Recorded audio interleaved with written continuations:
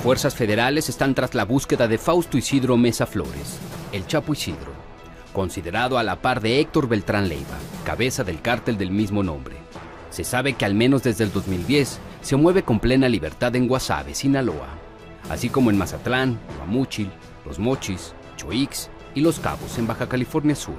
El 28 de abril de ese año, el Chapo Isidro estuvo a punto de ser capturado por el ejército en la sierra de Choix, Sinaloa. Antes, en 2008, Isidro Mesa lideraba a los Mazatlecos, un grupo de sicarios creados por los Beltrán Leiva para enfrentar al cártel de Sinaloa del que se habían separado. Con la detención de Alfredo Beltrán Leiva, el Mochomo, Isidro Mesa se encargó de proteger a los hermanos Marcos Arturo, muerto en diciembre de 2009, Carlos, detenido en enero de 2010 en Sinaloa, y Héctor Beltrán Leiva, en enero de 2013, el Departamento del Tesoro de los Estados Unidos dio a conocer estructura criminal de Isidro Mesa, identificada como el Cártel de Guasave, la cual aparentemente no solo fue creada para darle protección a Héctor, sino para golpear los intereses de Joaquín Guzmán, el Chapo, detenido en febrero de este año. El Departamento del Tesoro lo incluyó junto a miembros de su familia en la lista especial de líderes del narcotráfico, bloqueó y embargó sus bienes en los Estados Unidos y los de las empresas en Guasave,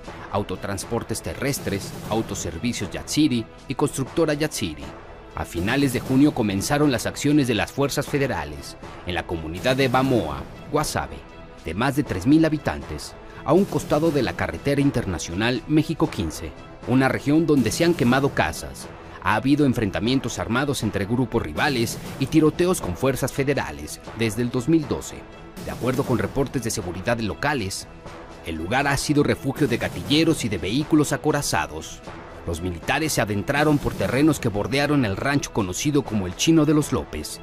Ahí detectaron a un grupo armado, encabezados por el jefe de la célula de Bamoa para el cártel de Guasave, Eleobardo Salomón Higuera, el Chichí. Los militares fueron recibidos a balazos y respondieron a la agresión. Cayó muerto Eleobardo Salomón, quien de acuerdo con información de la Procuraduría Estatal, era considerado sumamente peligroso por ser lugarteniente de Fausto Isidro Mesa. El 10 y 11 de julio ocurrieron varios enfrentamientos entre fuerzas federales y sicarios del grupo de Fausto Isidro. De acuerdo con información de las fuerzas federales, al menos 12 personas de la célula del Chapo Isidro murieron. Cuatro aparentemente eran líderes de la célula de los Mazatlecos. En abril de 2013 se difundió una fotografía aparentemente de Mesa Flores con una mujer. Aquella vez se dijo que el capo se movía entre Los Cabos y La Paz, Baja California Sur. Un año antes de esa fotografía se dijo que el Chapo Isidro había estado en la balacera en Las Glorias, Guasave, en abril de 2012.